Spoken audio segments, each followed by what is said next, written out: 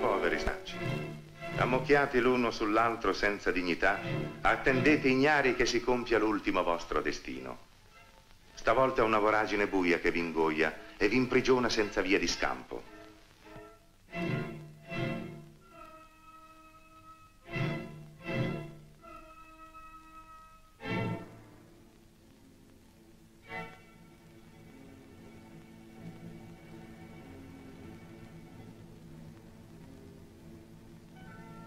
Nel loro uniforme moto rotatorio questi immensi bollitori a poco a poco vi liberano di tutte le scorie raccolte nelle vostre precedenti vite.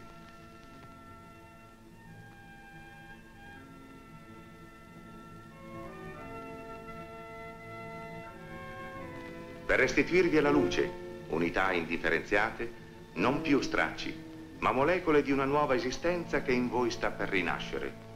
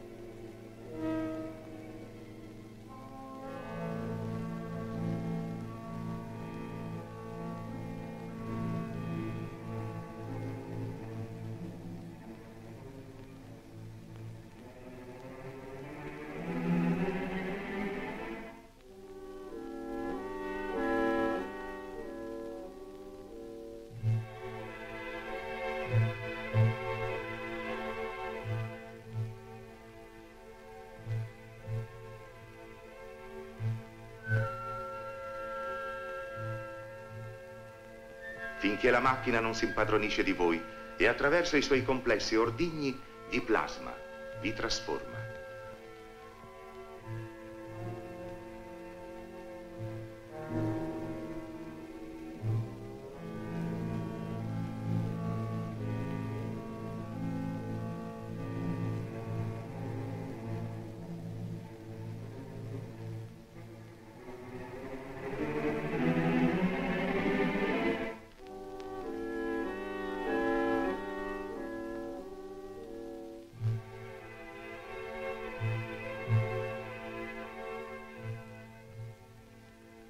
Dal dominio della macchina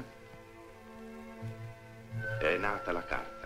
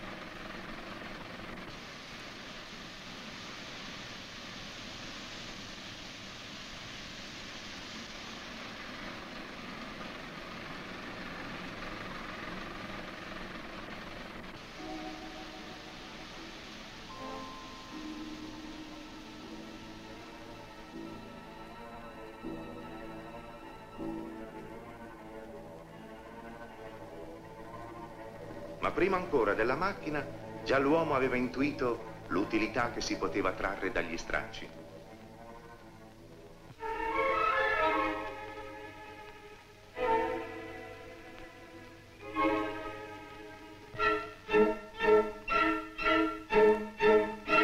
Questo sistema semplice di pile a maglio per la fabbricazione della carta a mano fu messo in uso fin dal XIV secolo. In esso gli stracci, anziché essere tagliuzzati, vengono ridotti in poltiglia, mantenendo intatte le fibre, creando un vero e proprio tessuto che permette la fabbricazione di carte pregiate richieste in tutto il mondo, vanto indiscusso dell'intelligenza dell'artigianato italiano.